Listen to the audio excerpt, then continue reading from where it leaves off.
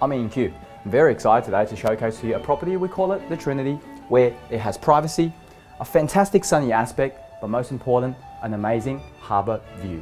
Welcome to 705 or 45 Bowman Street here in Jackson's Landing, Pyrmont. Nestled in one of Pyrmont's most sought after addresses, this apartment offers much more than just a place to call home, it's a lifestyle. As you enter, you'll immediately notice the open concept living space and the perfect northern aspect offering breathtaking views of the cityscape and harbour. Every room has been thoughtfully designed to take full advantage of the superb outlook, with large windows that bathe each space in natural light.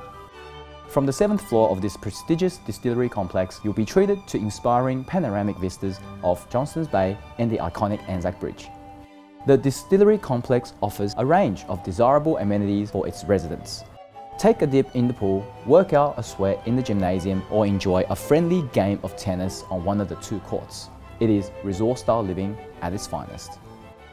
Pyrmont offers a vibrant lifestyle that seamlessly blends work and play. With its proximity to the fish market, restaurants, shopping, transport, and the CBD, you'll have everything you need within walking distance.